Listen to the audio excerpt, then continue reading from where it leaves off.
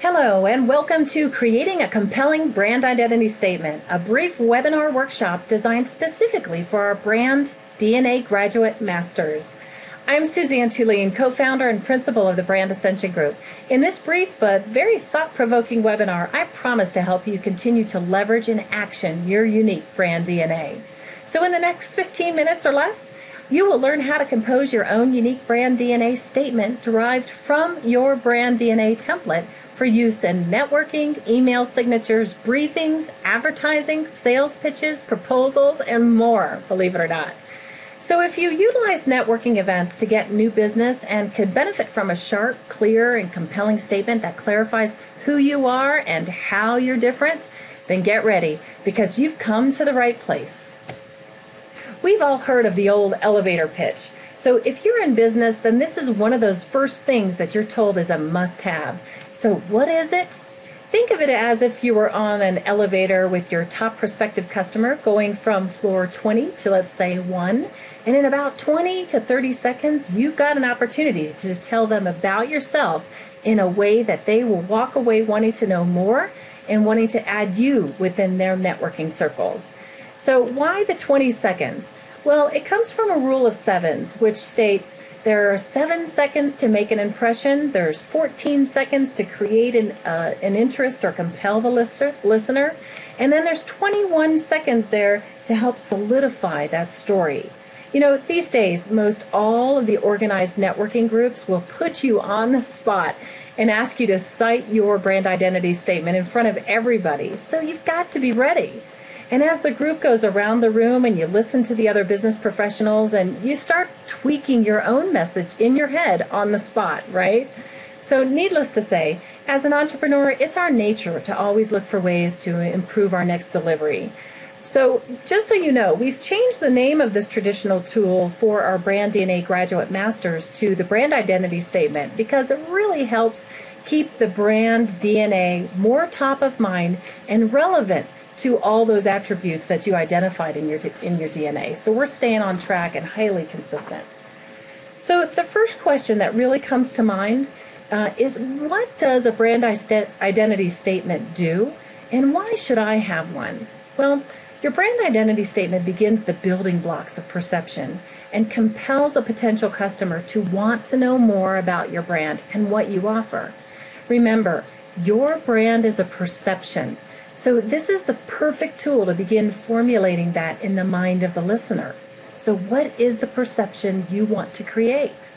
And this statement is really generally expressed in 30 seconds or less, so it forces the statement to be as clearly articulated as possible, yet compelling enough to stir interest in the listener. And in this case, it's true less is truly more. So there are also a few other resulting benefits to creating a powerful brand identity statement. One is that it forces the brand owner to really dig deep into the meaning of the brand and express it clearly and concisely. It is a great exercise to think through what you are and what you aren't. So that's why the brand DNA is so vital in the creation of this particular tool. It also helps you and your teams be more consistent in the delivery of the brand dialogue so everyone is on the same page when speaking about the brand, sending the same messages out to your markets. And finally, it helps maintain a common yet distinctive external perception of the brand and its benefits. And you know, this statement can be used in all those pieces I was talking about your email signature, advertising, networking, sales presentations. There's so much that can be used with this particular statement.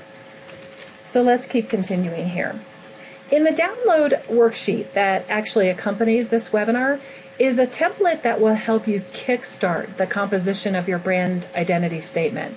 This is just a template, and you may find that you need to alter the initial terms that actually start the sentence phrases as you see fit, as, as you feel would be best uh, beneficial for the start of your compelling statements.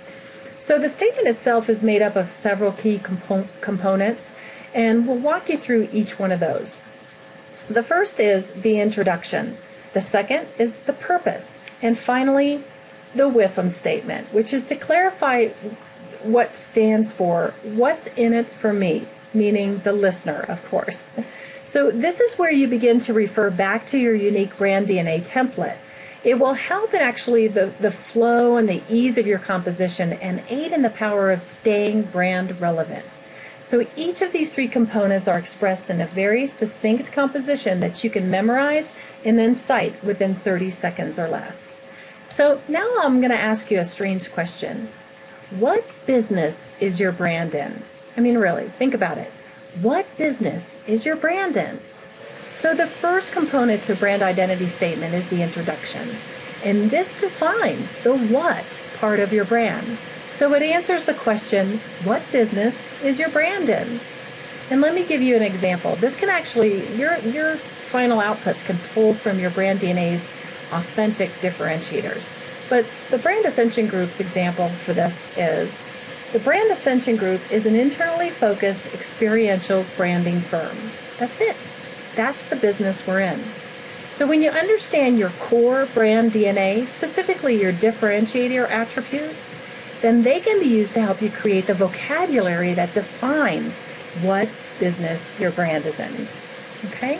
Now moving on to the second component is the purpose. The purpose defines the how and the why of the being in business and quickly identifies the who your market is. So think of the reasons you got into this business and what the true motivators are behind the product or service that you offer. Hone in on the terms that you use in your brand platform and massage them into a purpose statement that really speaks to the how and why and who in any order that works within your particular sentence structure. Our purpose statement is through our step by step methodology, we partner with visionary organizations to get brand conscious and achieve sustainable growth from the inside out. Now, to the final component of the statement. Most every business knows they provide great value to their customers. So here is the place to truly clarify that value. This component is the most fun because it allows you to speak to your key benefits, the WIFM statement. It defines the how you provide value to your customer. So when you think about the after effect or the resulting feeling or of the solution your brand actually provides, this is where you'll find the terms to compose this section. Review your brand differentiators, your standards of performance for customers, and your brand values for this particular portion. But not again, not only your brand value um, terms, we want you to review your brand value definitions. You'll find key phrases that you can pull from those definitions to apply to this particular statement. Here's the Brand Ascensions example of our WIFM statement. We do this by guiding them to define and build engaging internal brand experiences that win customers for life without spending $1 on marketing. So let's take a look at our example in full composition. The Brand Ascension Group is an internally focused experiential branding firm.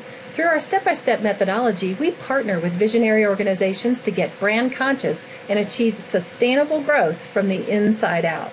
We do this by guiding them to define and build engaging internal brand experiences that win customers for life without spending $1 on marketing.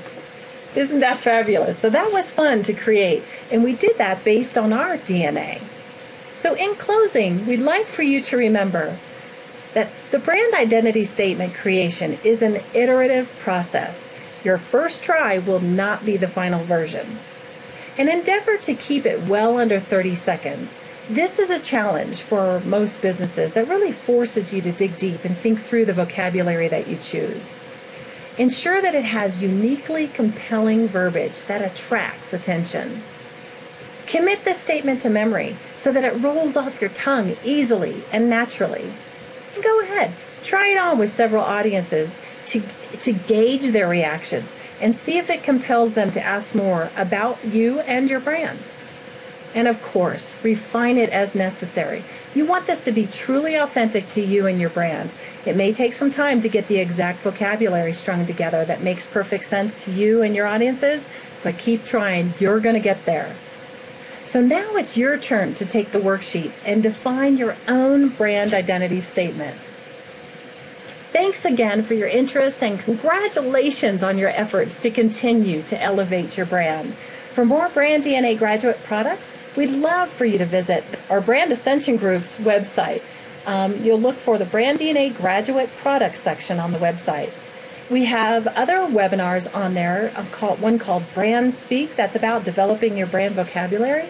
One that we just uh, finished is called Make Your Brand Make Sense. And that really means creating multisensory experiences, both internally and externally for your customers. We have the five steps to a rock solid on brand culture, which is a fabulous uh, introverted look on how you can begin engaging your employees to be more on brand. And then we have special consulting package rates just for you, the Brand DNA graduate, and so much more. So we look forward to seeing you and even hearing about your outputs. Uh, go ahead and visit the uh, LinkedIn group that we've got available for Brand DNA graduates and share your experiences. Collaborate with other Brand DNA masters and let's elevate together. Thanks again. Have a great one.